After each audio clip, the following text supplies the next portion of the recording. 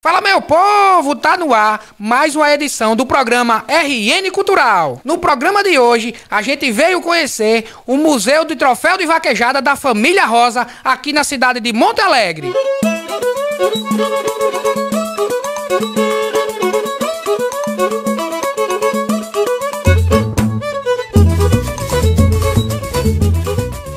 A gente conversa agora com o idealizador aqui do museu, né, seu Arnaldo.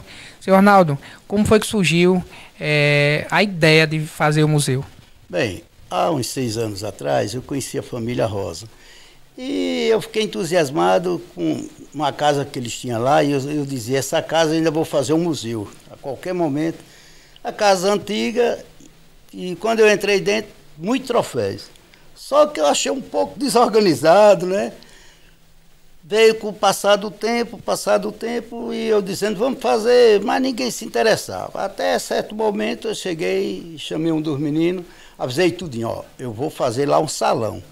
Se vocês fizerem, vocês não vão gastar nada. Eu vou prestigiar vocês, não vamos deixar se acabar essa imagem da família Rosa. E foi o que eu fiz. Trouxe para cá, para minha área de lazer, tem esse salão, eu achei legal.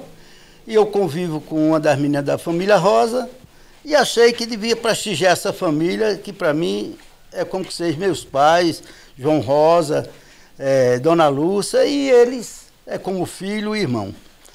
E a ideia é essa que você está vendo agora, é para mostrar à população muito breve.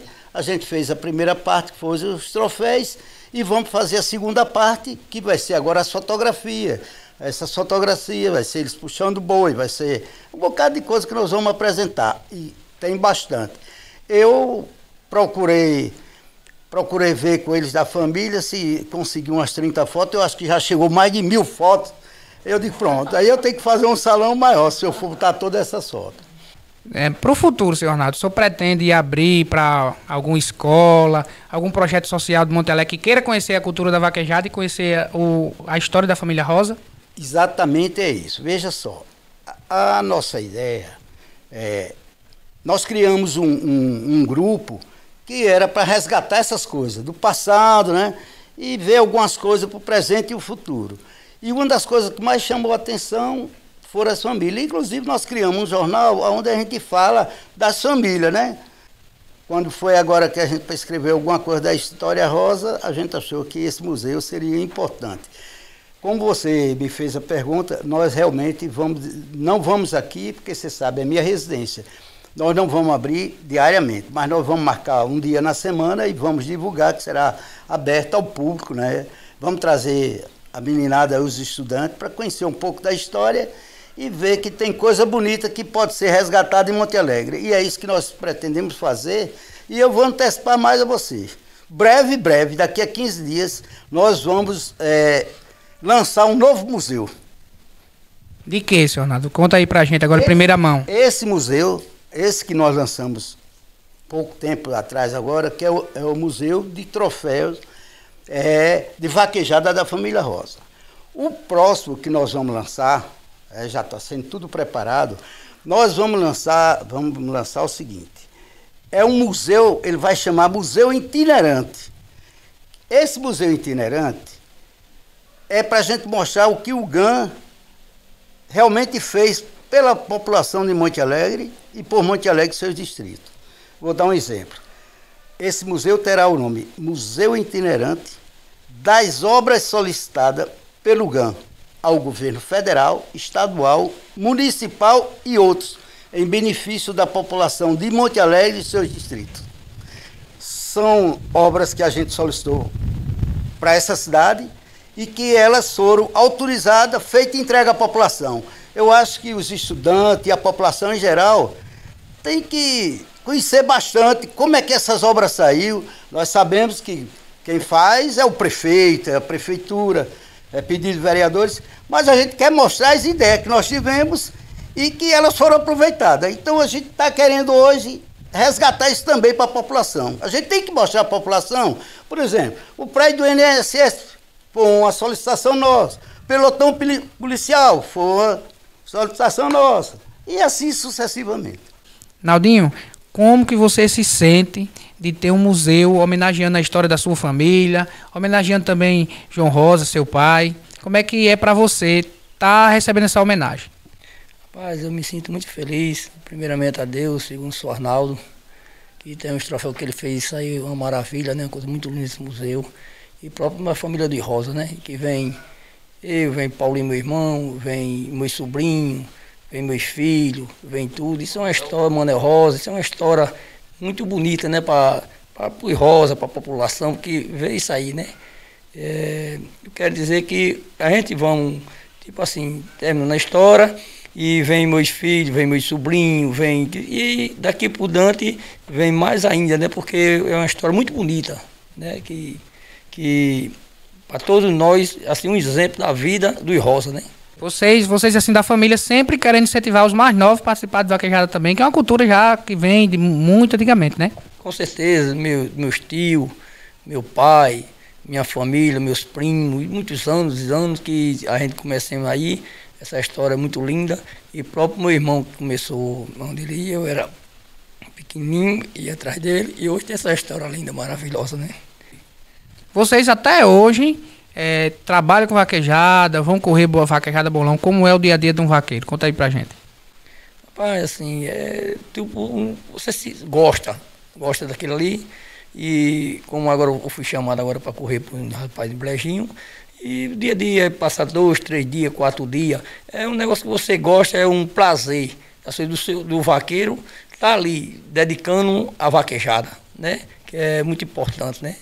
Isso aí para a família da gente, para a gente que gosta, por exemplo, meu filho, meu sobrinho, todo, todo o especial do, do Roça, né? Isso é muito importante, bonito, né?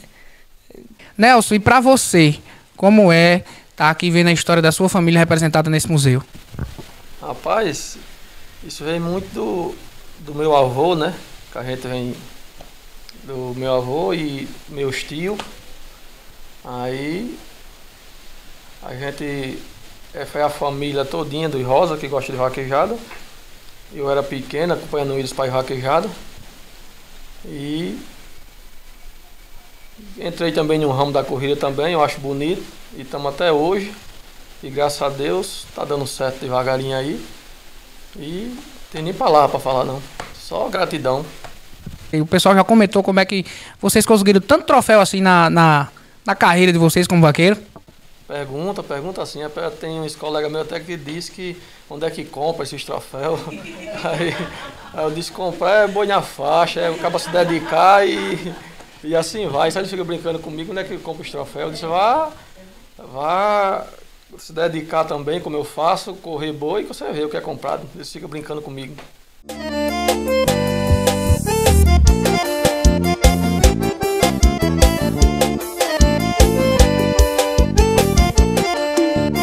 Dentre todos esses troféus, tem um mais especial, de uma história mais, mais emocionante para você? Tem, meu velho. Tem um troféu que, Dia dos Pais, meu pai apareceu uma semana antes, Dia dos Pais, a gente foi para uma vaquejadinha, um bolão. E tava eu, minha família todinha, meus irmãos, meu sobrinho, e eu tenho uma história muito bonita com esse troféu. Aí sempre pega aí, por favor. A gente vê que o troféu tem um acabamento diferenciado, né? Muito diferente dos troféus de hoje em dia, feito de madeira, feito à mão, com acabamento aqui. Realmente era personalizado esses troféus. Certeza. Esse, esse troféu tem uma história muito bonita, porque meu primo fez um bolão e fazia uma semana que meu pai tinha falecido. Deus levou ele e convidou nós todos para ir para esse bolão. Né? Um vai, outro não vai, outro muito sentido com meu pai. Eu disse, embora, porque Deus levou, Deus bota em bom lugar e fomos nós tudinho. Combinei meu, meus irmãos, meus sobrinhos. E eu tinha corrido duas senhas, perdi. Outro meu sobrinho correu, perdeu. Aí um colega meu falou, duas senhas. Aí disse, não, corro, não quero correr mais não. Aí, vamos, correr. Aí eu corri e bati as duas senhas. Aí bateu 70 e poucas senhas, comecei a disputa, ficou seis, de seis só ficou eu em duas senhas. E Deus me chamaram para rachar, eu disse, não rache não, porque hoje é dia dos pais, eu ficar em primeiro lugar. E Deus me mostrou a felicidade, eu fiquei em primeiro lugar, perto da minha família. O, o troféu mais lindo que eu achei na minha vida foi esse aí, que o dia dos pais, que uma semana antes, eu tirei para ele. E essa história é linda, porque tá a minha família todinha. E o mais interessante, o mais bonito da história é que você ganhou o troféu, e o troféu está aqui hoje no museu, em homenagem também ao seu pai, né? Com certeza. Eu entreguei a Deus, entreguei, contando a história que esse troféu é dele. Eu tirei para ele, da minha família todinha. Esse troféu é muito maravilhoso, especial para ele e para minha família, que estava tudo comigo.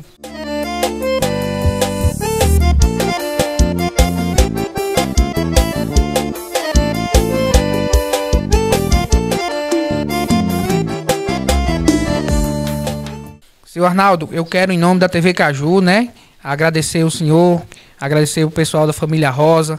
É, não só que, os que estão aqui hoje, né, mas é uma família muito grande, uma família que valoriza a cultura, que valoriza a vaquejada.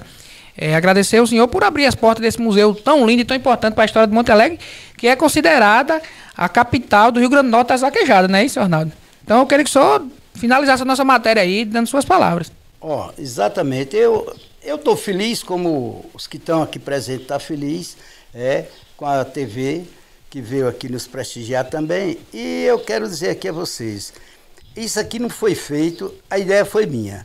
Mas eu agradeço isso aqui, a família Rosa, como é, Zé Rosa, que trouxe 40 troféus, ele mora em São José, e tem um filho dele lá que corre também, Manel Rosa. Eu tenho que agradecer por eles terem prestigiado.